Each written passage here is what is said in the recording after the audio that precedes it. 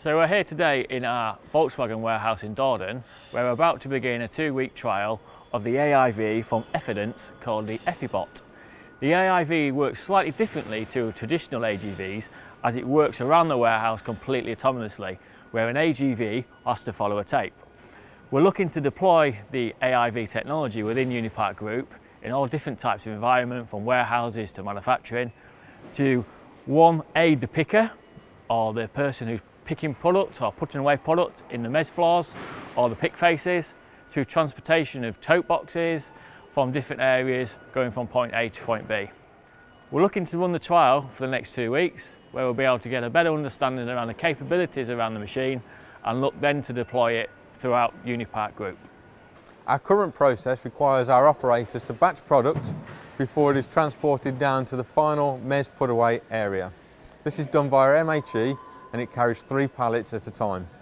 We're looking to use the EffiBOT to give us a better flow of product and reduce the amount of time inventory is waiting to be processed. This should improve our efficiency and our arrival to bin KPI. This was a demonstration of the follow me mode. If we were to decide to implement the EffiBOT across site, we could also have the autonomous version, which would be programmed to go from point A to point B without the requirement of an individual leading the robot to where it needs to go.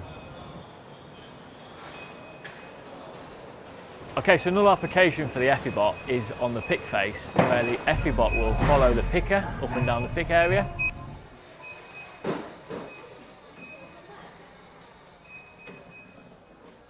I like this one because actually I have the wheel when you go the right, you go the left, the vibration uh, all the time upstairs is the grill. And uh, this is very, very easy to use here. Once the pick is complete and the uh, totes are full, the EffiBOT will then travel autonomously to the consolidation area where the totes can be offloaded and then in autonomous mode again will then travel back to the pick face to be reloaded.